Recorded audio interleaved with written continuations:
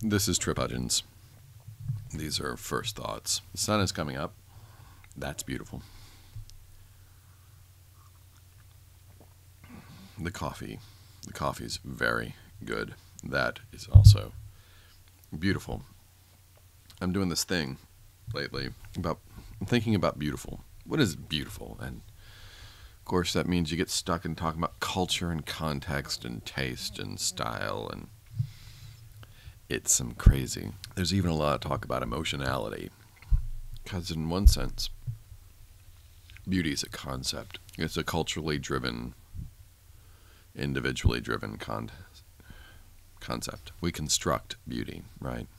And yet, there's something very visceral about our connection to things that we think of as beautiful, or to the contrary, things we think of as ugly. Things that are ugly scare us we fall in love with things that are beautiful. Emotions are part of this. It's just inescapable. I woke up this morning thinking about this stuff. I, I wake up.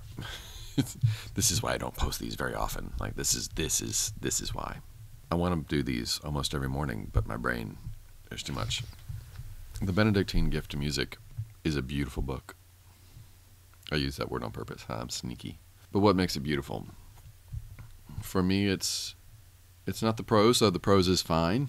So is it a beautiful book if the prose is only fine? Is it the subject matter? The subject matter for me is just great. The history is embarrassing. The history of the development of Western music, all tied up and wrapped up in empire and church. Please don't blame the church for the state of music in the West. It's going to tempting. It's going to be tempting. You're going to want to do it. Get this book. It's an older book. It's almost 20 years old. It's, it's fabulous about the spirituality behind music making in Europe for the last I don't know well during the Benedictine if there's a Benedictine era the Gregorian era the development of Gregorian chant in the monasteries. There's some crazy because you know these are a lot of people living alone celibates at least in name celibates and it's it's going to be weird but there's some really beautiful theology wrapped up in the creation of music. The tones what they mean what's going on I find it beautiful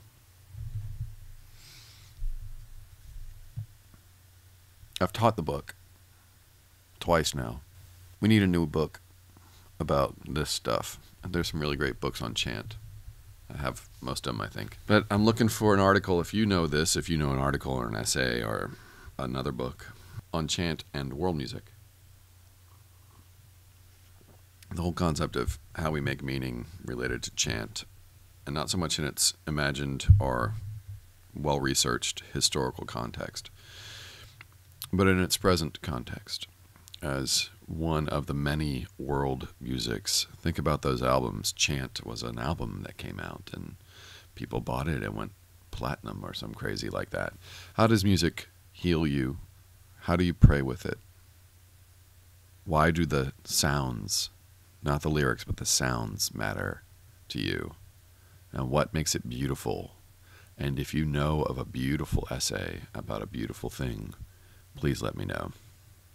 Um, I'm Tripp Hudgins. These are first thoughts. I miss you guys. Let me know how it's going.